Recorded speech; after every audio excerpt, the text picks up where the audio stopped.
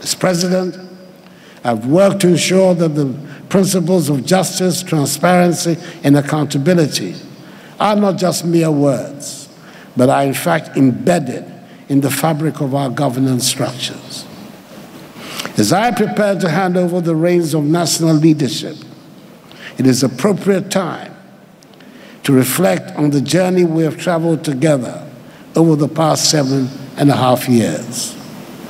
My presidency, in many ways, has been an extension of my legal career, a continuation of my devotion to the rule of law and the protection of the rights of all Ghanaians. One of my first acts as president was to ensure the independence of the judiciary.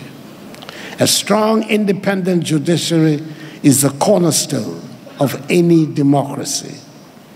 It is the institution that Ghanaians turn to in times of dispute, and it should be above reproach.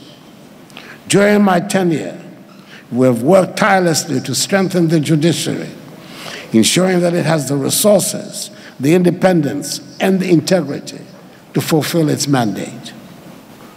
We've introduced electronic filing systems, reducing reliance on paper based documentation, and streamlining the judicial process.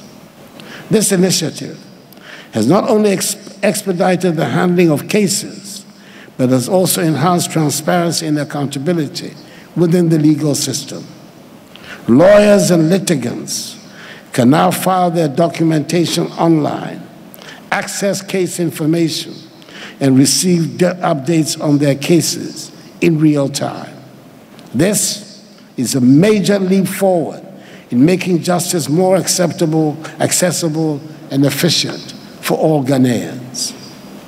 The establishment of a permanent modern court of appeal complex in Kumasi should help improve justice delivery for the northern sector of the country.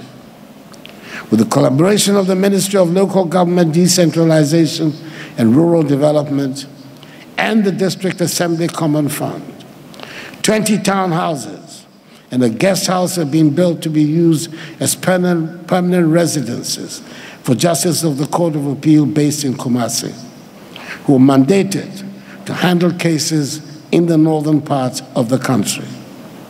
It should mean that appeals from the Upper West, Upper East, Savannah, Northeast, Northern, Ahafo, Bono, Bono East, Western North, and the Ashanti regions should now be conveniently held within a much shorter period. Additionally, in 2020, we set out to construct 100 courthouses with residential facilities nationwide. As of February 2024, 79 courthouses have been successfully inaugurated and are in use at different sites around the country. The remaining 21 projects are at various stages of completion and are expected to be completed and inaugurated this year. In addition, over 121 residential units have been constructed for judges throughout the country. The project is not yet complete, but I can safely say that we've done enough to address the perennial problem of insufficient court infrastructure in Ghana. We've also taken strong systemic steps to combat corruption, rooted in a holistic program of legislative, administrative, financial, and technological reforms. We've established the Office of the Special Prosecutor, a critical institution in the fight against corruption, and we've provided it with the necessary tools to prosecute those who seek to enrich themselves at the expense of the Ghanaian people. During my first term in office, Parliament passed the Witness Protection Act in 2018, which I signed in law to create a witness protection scheme for individuals cooperating with law enforcement, especially in corruption cases. The Criminal Offences Amendment Act of 2020 elevated corruption from a misdemeanor to a felony with harsher sentences of 12 to 25 years in prison. In addition, My administration has driven the passage of several key laws that bolster the state's ability to fight corruption. These include the Revenue Administration Amendment Act, the Fiscal Responsibility Act, and Anti-Money Laundering Act, amongst others. Together, these legal reforms have strengthened the institutional framework to combat corruption and ensure accountability. Administratively, a series of other far-reaching measures have been undertaken by my government to help in the fight against corruption.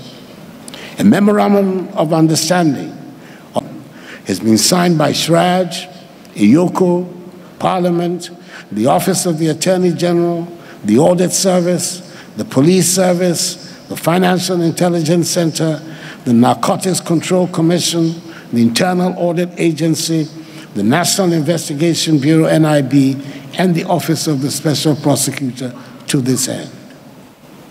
The use of technology has been pivotal in our efforts to combat corruption.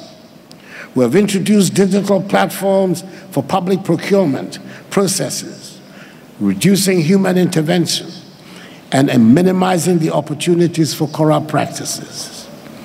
These platforms have increased transparency, efficiency, and competitiveness in public procurement, ensuring that public resources are used judiciously for the benefit of all Ghanaians. The Auditor General's report for 2023, for example, revealed a significant decline in financial irregularities within the public sector, dropping by 5.2 billion cedis from the previous year, a 32% reduction. Furthermore, we have worked to reform our legal and regulatory framework to enhance transparency and accountability. We've strengthened the right to information, ensuring that Ghanaians have the tools they need to hold their government accountable. The passage of the Right to Information Act, which preceding administration had failed to accomplish, was an important milestone in this regard, providing citizens with the power to demand transparency for their leaders. By the same token, the Conduct of Public Officers Bill has passed the scrutiny of the Cabinet Committee on Governance and is now ready for presentation to the full Cabinet, after which it will be presented to Parliament for its action. I'm extremely hopeful that this will be accomplished before I leave office. It is also an undeniable fact that budgetary allocations for institutions actively engaged in public sector accountability, that is the Office of the Auditor General, the Judiciary, Parliament, the Commission on Human Rights and Administrative Justice, CHRAJ, the Ghana Police Service, the Economic and Organized Crimes Office, EOCO, and the Financial Intelligence Center have all witnessed unprecedented increases since I assumed office in 2017. At the end of 2023, the budgetary allocation to partners to Parliament witnessed a 100% increase compared to what I inherited in 2016. The police service saw its budget increase by 274% at the end of 2023 in comparison to 2016. The audit service recorded a 258% rise in its budgetary allocation at the end of 2023 as compared to 2016. The budget of the judiciary rose by 36% at the end of 2023 compared to 2016. The budget of the Attorney General, of the Office of the Attorney General, increased by 162% at the end of 2023 compared to 2016. The budget of the EOCO increased by 47% at the end of 2023 in comparison to 2016. The budget of the Financial Intelligence Center increased by 443% at the end of 2023 compared to 2026, 2016. whilst the budget of CHRAJ increased by 99% at the end of 2023 compared to 2016. These figures reflect my resolve to ensure that institutions of state of relevance in the anti-corruption agenda are properly equipped to discharge satisfactorily the mandate of their offices. I'm aware that there's a deliberate, politically motivated effort to stigmatize my government, my family, and myself as corrupt. I suspect, as payback for the damaging allegations of corruption leveled against members of the erstwhile Mahama administration, some of which have led to criminal convictions, and others are still being prosecuted in court. In spite of scrutiny by credible public institutions of virtually all these allegations of misconduct on the part of my government, my family, and myself, which have been found to be baseless, the leader of the opposition the perennial NDC presidential candidate, continues to describe me as a clearing agent. It is important that I, reiterate that I will not abandon under any circumstance recourse to due process in the fight against corruption. Be that as it may, in any event, I'll leave it to the Ghanaian public and people. I would leave to the judgment of the Ghanaian public and people decide to decide whether it is preferable to be a clearing agent or government official one. Our commitment to the rule of law has also been evident in our approach to law enforcement. We have worked to ensure that our security agencies operate within the confines of the law, respecting the rights of all citizens. Human rights abuses, which were all too common in our past, have no place in a democratic Ghana. We have established mechanisms to ensure that those who abuse their power are held accountable. In the international arena, we have also sought to uphold the rule of law and champion democratic values.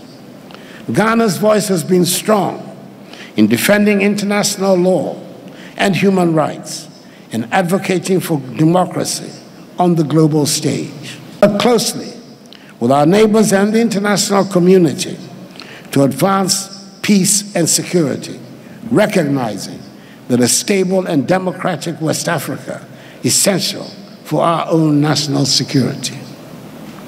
As we gather here today to discuss the theme, peaceful, fair, and transparent elections, the key to sustainable democracy, it is essential to reflect on our nation's historical journey, particularly our past experience with military rule.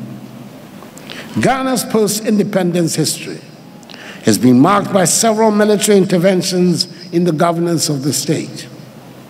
The first of these occurred in 1966 when the one party government of our first president, Kwame Nkrumah, was overthrown in a coup d'etat. This event set the stage for a series of military takeovers that would dominate Ghana's political landscape for the next three decades. Each of these regimes came to power with premises of restoring order, combating corruption, and revitalizing the economy. However, as history has shown, military rule often led to the opposite outcomes. The suspension of constitutional governments, the erosion of civil liberties, and the concentration of power in the hands of a few were the hallmarks of these regimes. Under military rule, due process was set aside in favor of decrees and edicts. The judiciary was emasculated and the legal profession was marginalized.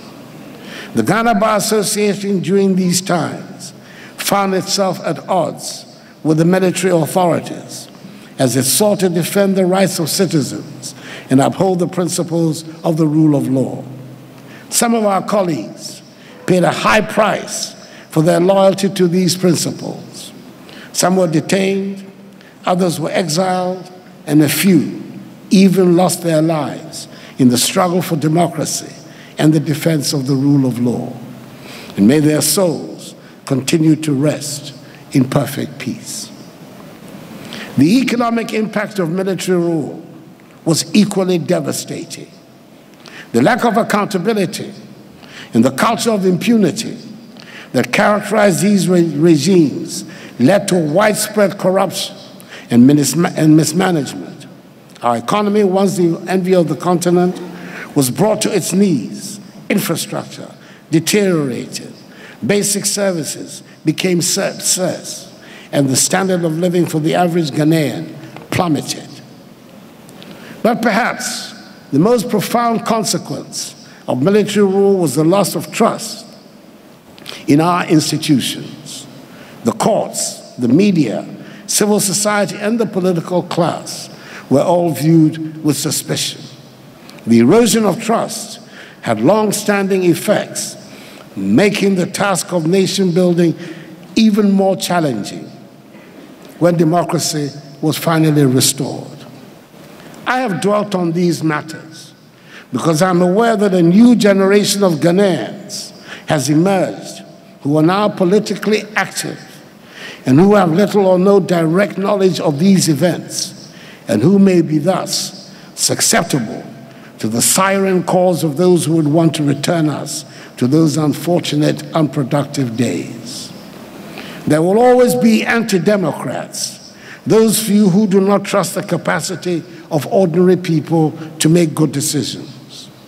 There will always be those few who seek a shortcut to the exercise of executive power, people who are unwilling to do the hard work of popular mobilization and messaging required of democratic politics, but who nonetheless want to exercise executive power.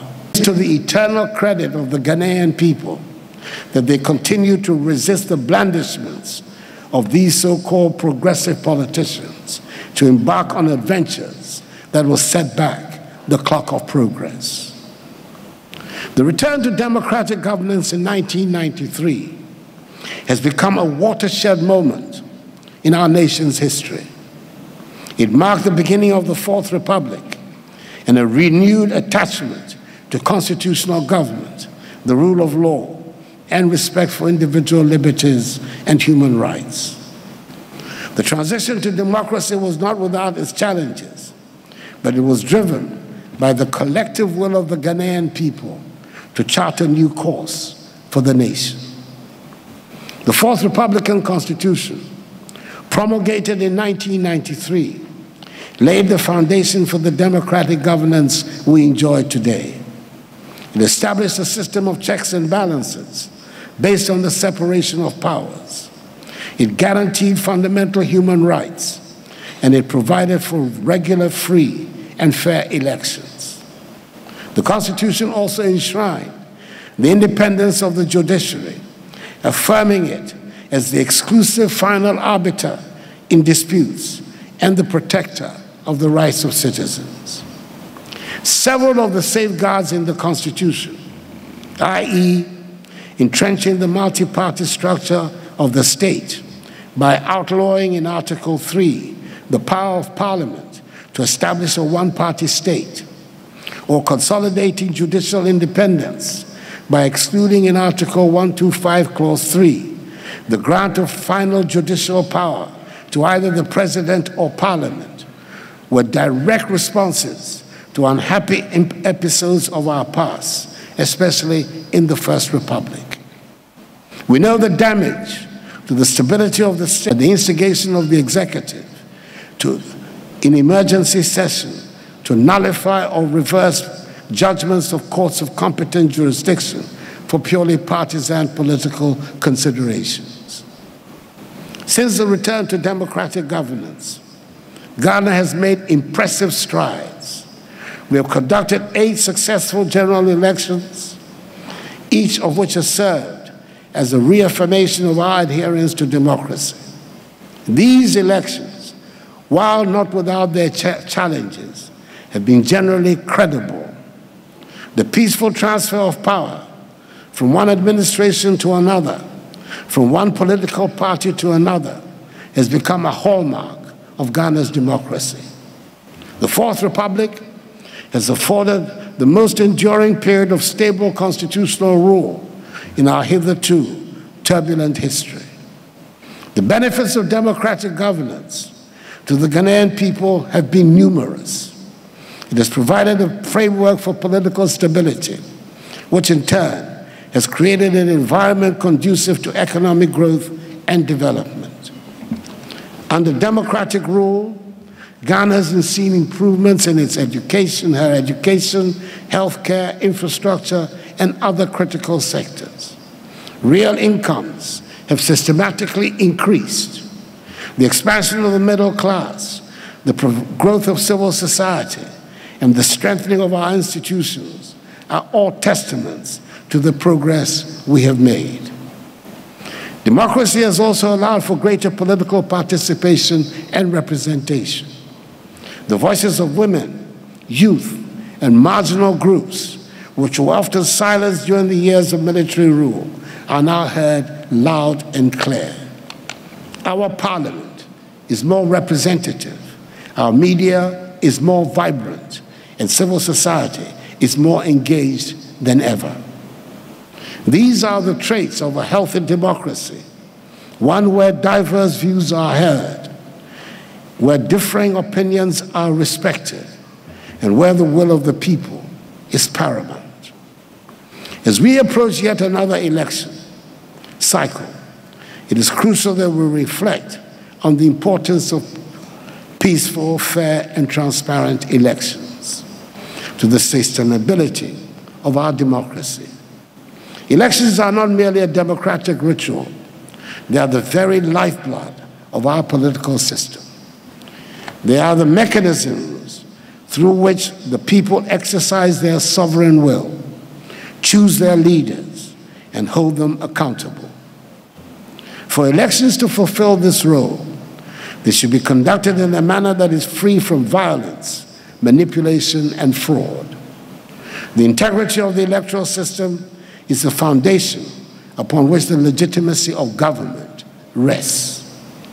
When elections are conducted fairly and transparently, the results accepted are accepted by all, even generally, by the losers. This broad acceptance is essential for peace, stability, and the continued progress of the nation. However, the history of the African continent is replete with examples of elections that have gone awry. Elections marked by violence, by irregularities, and by a lack of transparency. Such elections have led to disputed results political instability, and in some cases, open conflict. We should learn from these experiences and ensure that Ghana does not ever fall into the same trap.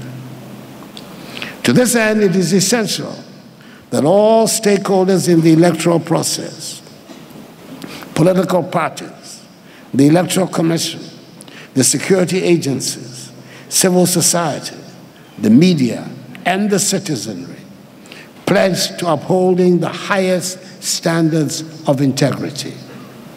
The Akufo-Addo government, on its part, will do everything within its power to ensure that the upcoming elections are conducted in an environment of peace, fairness, and transparency.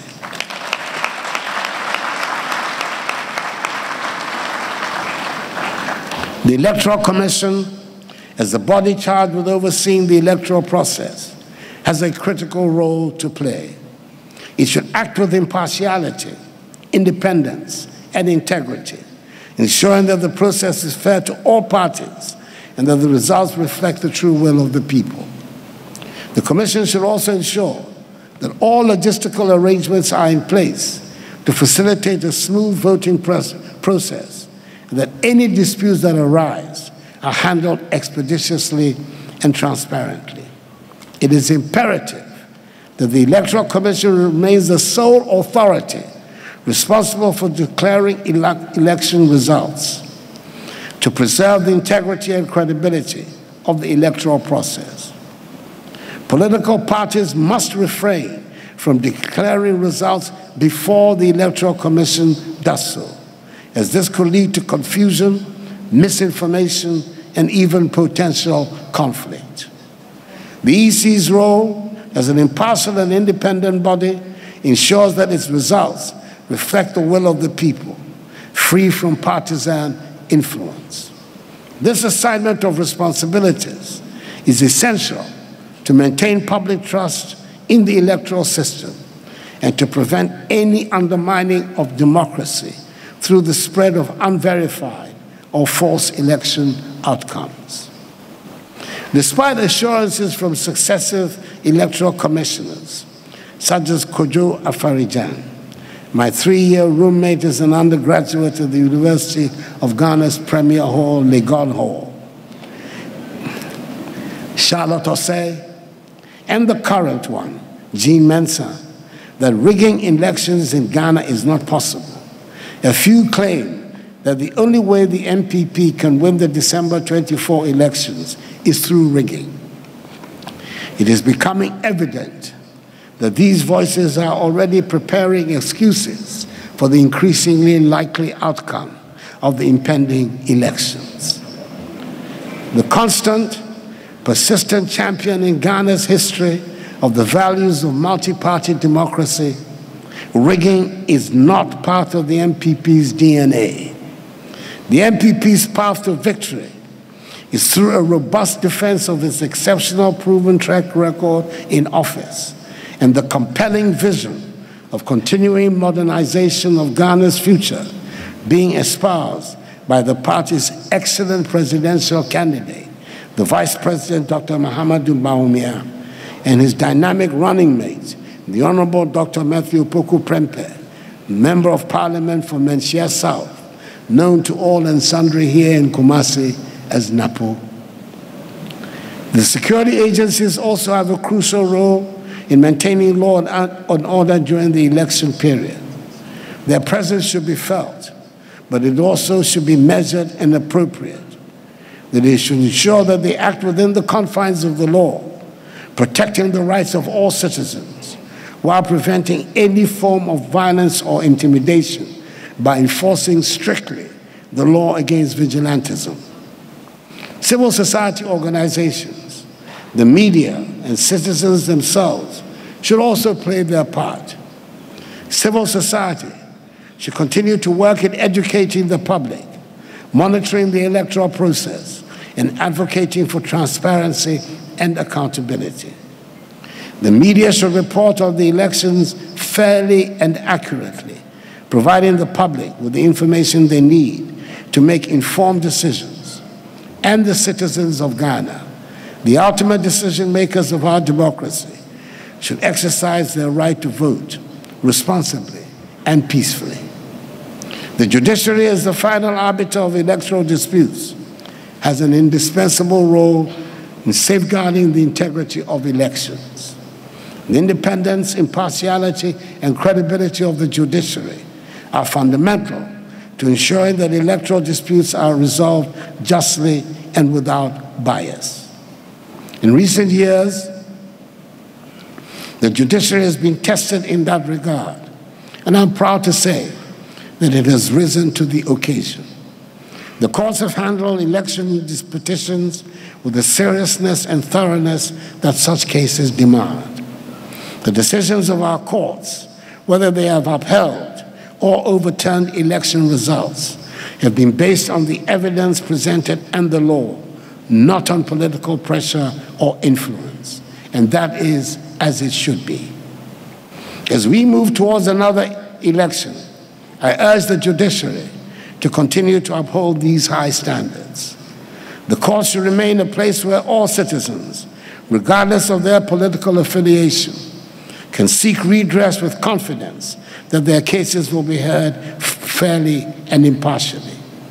The judiciary should also ensure that its processes are transparent, that its reasons its rulings are well reasoned, and that justice is not only done, but is also seen to be done.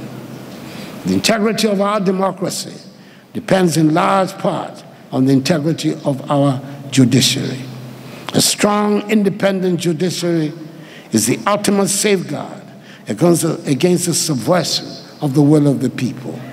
It is the institution that ensures that our elections are not just a facade, but a true reflection of the democratic process. Learned friends, ladies and gentlemen, democracy is more than just a system of government.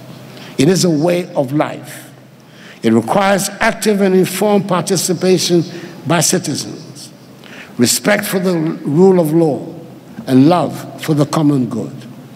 To sustain our democracy, we should continue to invest in civic education and promote a culture of political tolerance. Civic education is essential for empowering citizens to participate meaningfully in the democratic process.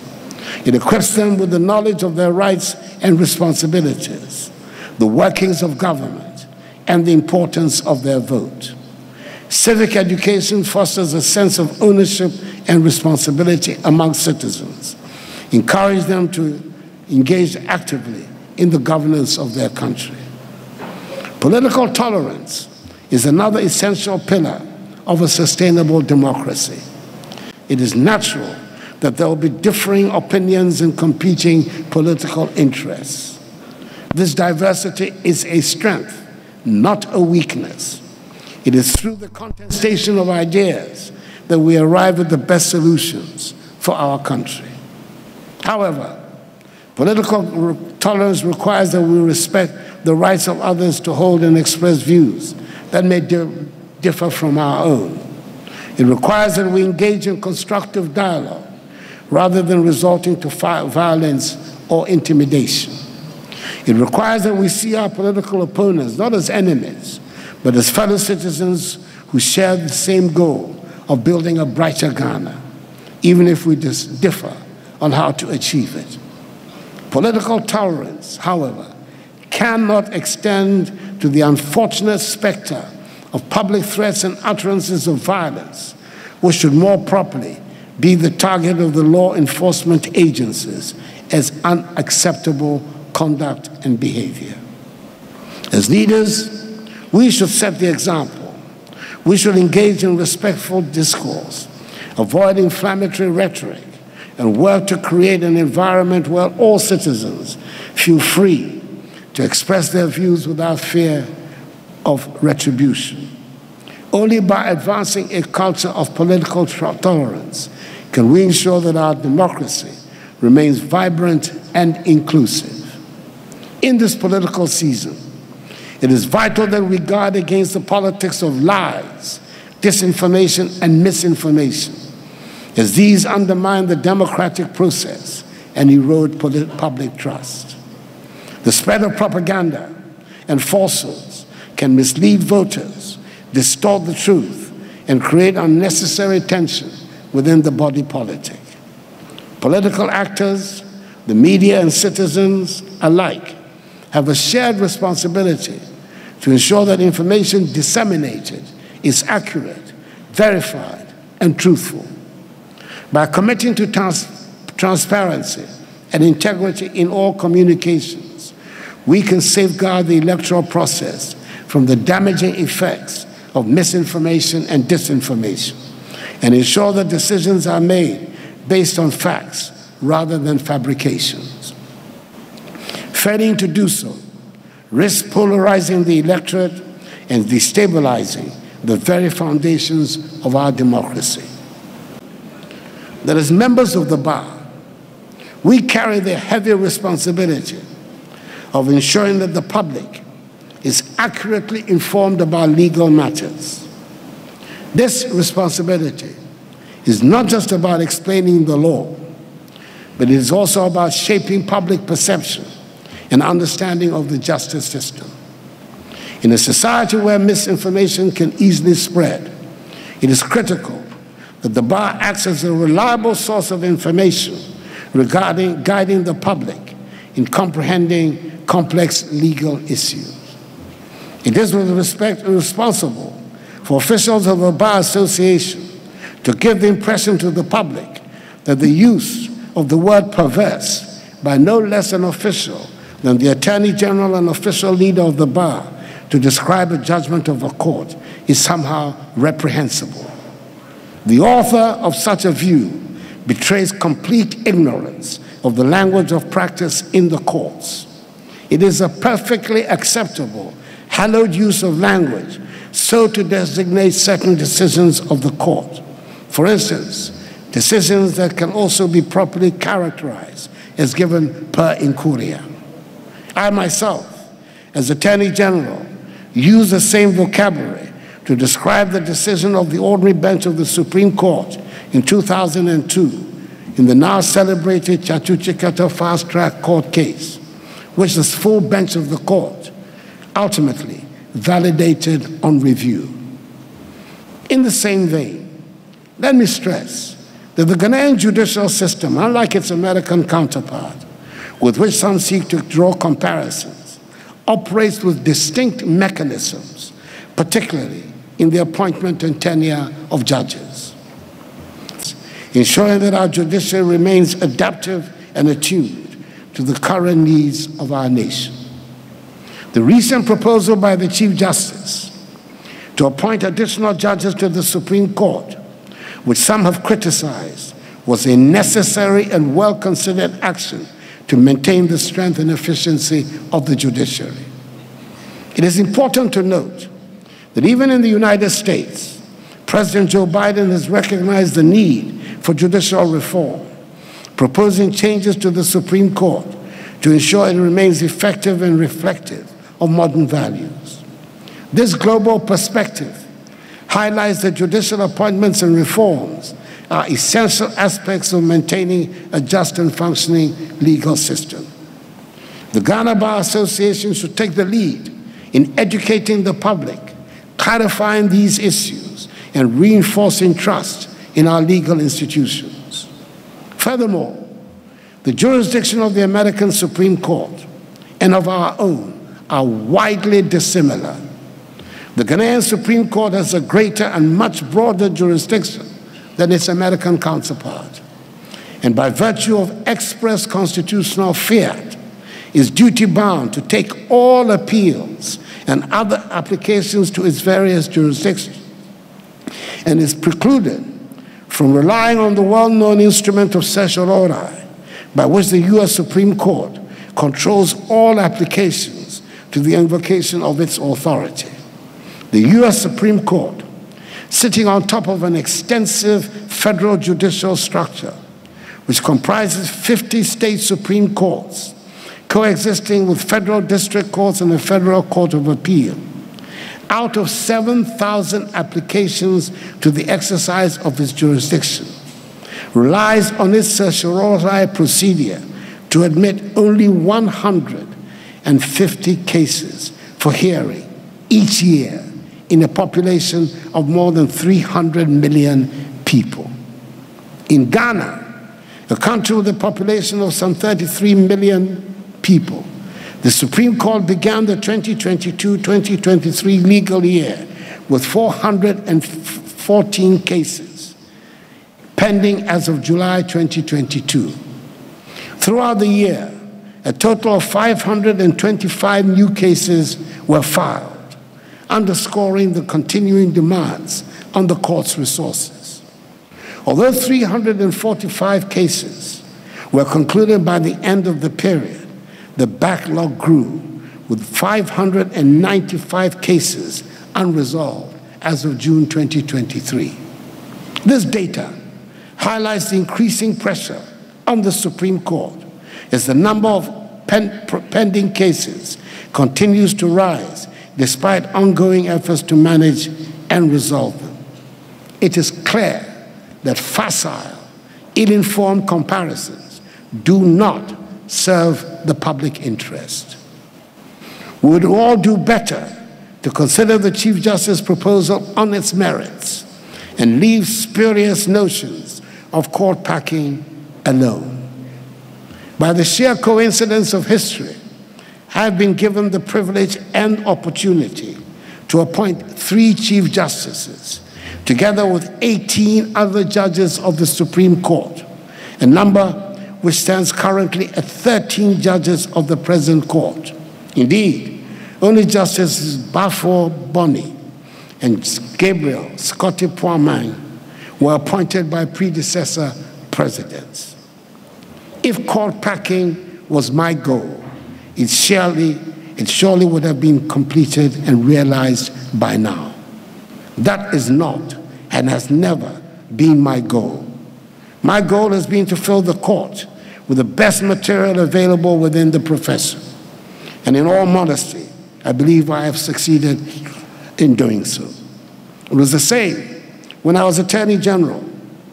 Justices Date-Bah, Modibo Ocran, and A.P. Kludze were all appointments proposed by me to my, my boss, the outstanding Ghanaian statesman, His Excellency John Agyekum Kufuor, the second president of the Fourth Republic.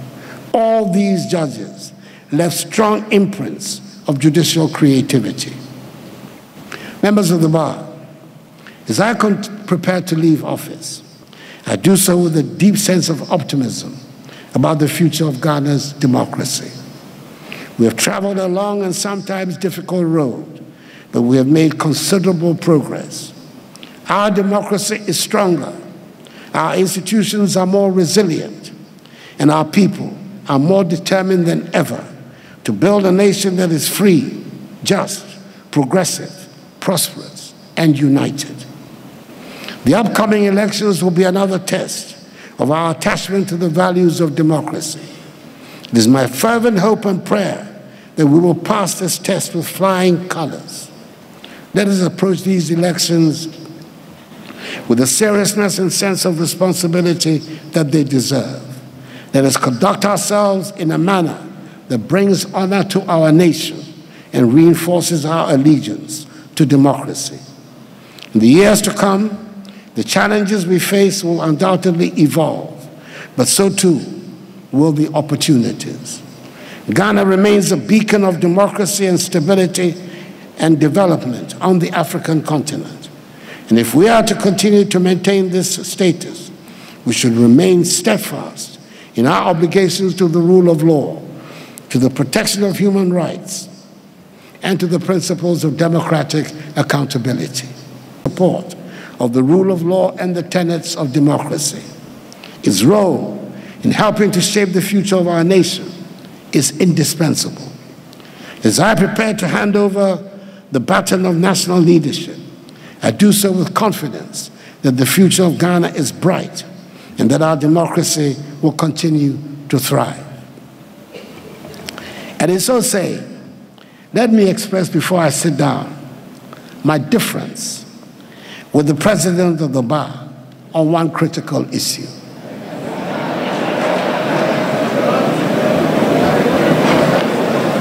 People who can afford to pay fees for the education of their wards should send them to fee paying private schools.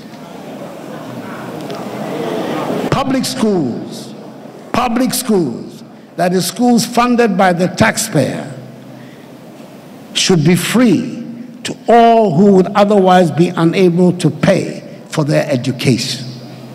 That is why the numbers of pupils who have access to secondary education has doubled since the introduction of the free senior high school policy.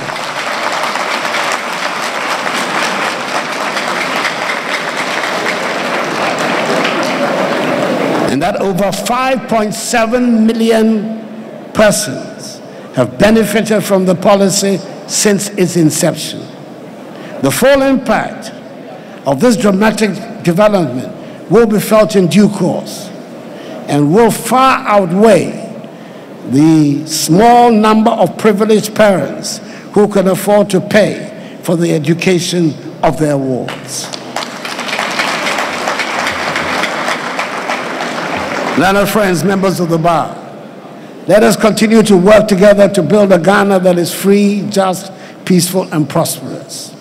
Let us ensure that our democracy endures for generations and generations to come, and that it remains a source of pride for all Ghanaians.